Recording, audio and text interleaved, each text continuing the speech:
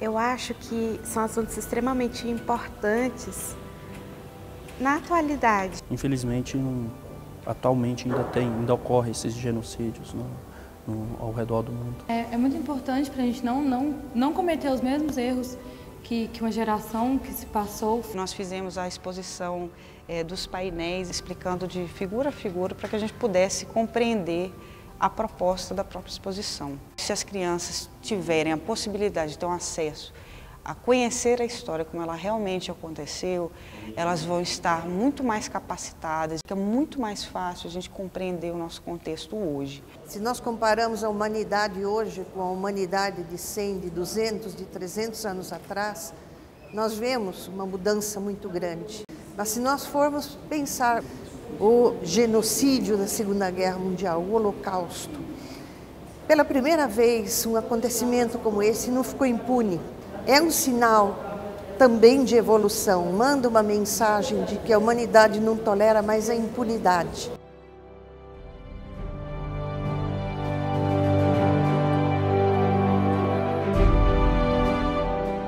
Acredito que há uma iniciativa muito interessante da Holanda no sentido de proporcionar uma reflexão, um debate crítico sobre os primeiros contatos feitos entre holandeses e brasileiros. É uma forma de a gente conseguir refletir de forma madura e reagir efetivamente. A primeira parte fica aqui. E isso é o início dos contatos entre a Holanda e o Brasil no século XVII.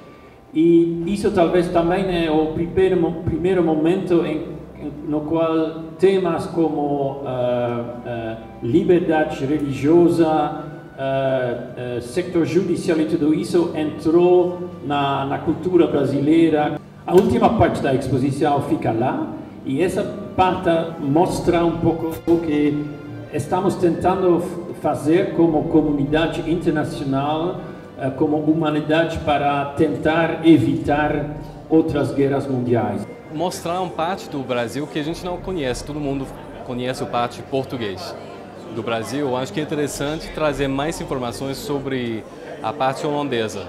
Os holandeses também tinham um impacto ah, em termos do direito internacional e a criação dos direitos que hoje em dia a gente toma por, ah, como um direito comum. Né?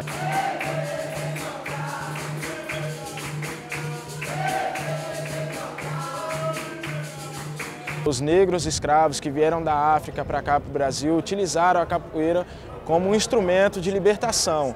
É uma forma de trabalhar a paz, de conseguir a paz e de conseguir a justiça. E dentre todas as características que a capoeira possui, a principal é justamente a inclusão social. Nós dentro da capoeira não temos distinção de raça, cor, é, classe social.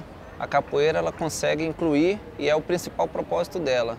Existem mais coisas entre o Brasil e a Holanda. Existe uma história que nos une e é muito bonita a exposição que está aqui, mas mais do que uma história, uma coisa que nos projeta para o futuro é o fato de que existem valores que nós compartilhamos. O fato de que estamos num momento de celebração de direitos humanos é um fator ainda mais inspirador para que haja uma exposição sobre a Anne Frank.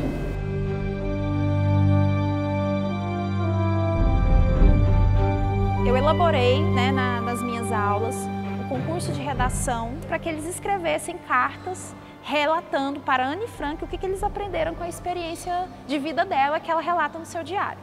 Anne, você não desanimou e sempre continuou seguindo em frente, mesmo com todas as dificuldades que você passou. Eles também conseguiram perceber que eles vivem também numa situação de conflito, que eles precisam fazer algo para modificar o ambiente onde eles vivem. Ficou muito forte neles essa questão mesmo de dar valor à escola valor ao, à liberdade.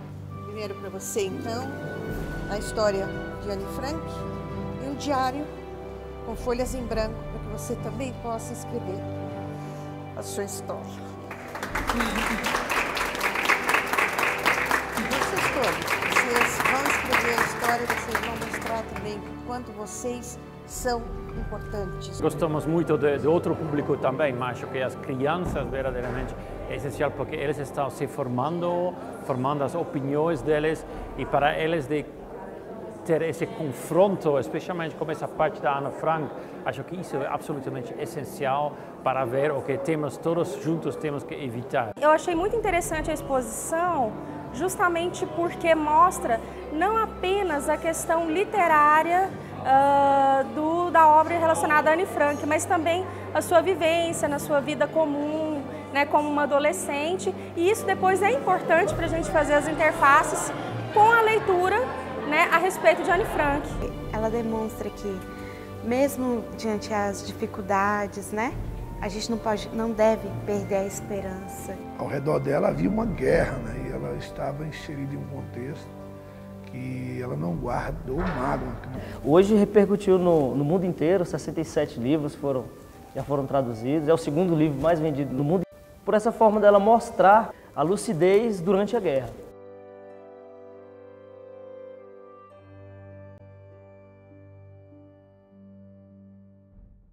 Todos nós sabemos que não existe guerra boa, toda guerra é ruim. Mas hoje se manda uma mensagem de que até durante situações de conflito armado, as partes envolvidas num conflito têm que se portar com o mínimo de ética. Não mais os estados, mas pessoas estão sendo punidas pela prática de atos que não são inerentes à crueldade da guerra. Eu acho que é importante incutir na, na, nas crianças, na juventude de hoje em dia, cada vez mais o senso de comunidade. A comunidade organizada, ela pode mudar, ela pode fazer diferença e ela vai fazer a diferença. Cada um tem que fazer a sua parte. Que não é porque o outro não faz que eu também vou deixar de fazer. Enquanto esteve preso em Robben Island, Mandela leu o diário de Anne Frank.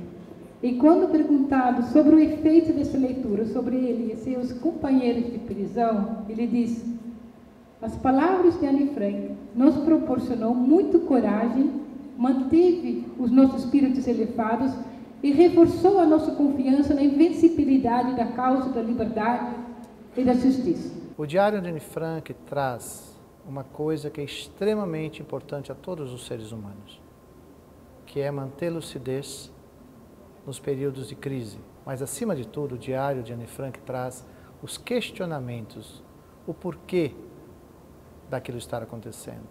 Então, quando Anne Frank, no final do seu, do seu diário, coloca uma, um, um parágrafo que diz que, mesmo ela tendo vivido todas aquelas situações, ela jamais esqueceu de acreditar na bondade humana. Visitar a exposição de Anne Frank é uma oportunidade de uma grande reflexão sobre a igualdade, sobre a diversidade, sobre os direitos de cada ser humano, sobre o sentido da liberdade, que deve ser igual e plena para todos. Esses questionamentos, quando trazido e oferecido às crianças e jovens, faz com que eles possam amadurecer, já nutrindo e cultivando em suas mentes valores tão significativos e caros hoje para a sociedade, que é a igualdade, que é o amor, que é a tolerância, que é a generosidade. A história de Anne Frank me comoveu muito. É uma jovem judia que viveu alguns anos escondida. Anne Frank, sei que você não aproveitou muito a adolescência. Eu aprendi com Anne Frank que devemos dar valor a tudo que temos. Anne Frank me ensinou muitas coisas, como valorizar o que você tem e aproveitar as coisas que você não dá valor. No período em que eu e minha turma estivemos estudando sobre a vida da Anne Frank, eu aprendi uma coisa muito importante que vai servir por toda a minha vida. Até parece que eu convivi com ela, e convivi sim, através da leitura e pela sua história impressionante. Acho que Anne Frank foi uma guerreira superadora, que apesar da história dela, ela sempre esteve sorrindo e alegrando todo mundo ao seu redor. Ela expressa o que estamos sentindo, mesmo sendo de outra época, ela nos entende. Sentimentos profundos que não escrevemos numa carta, mas sendo no coração no qual gravamos pessoas importantes, uma delas é você.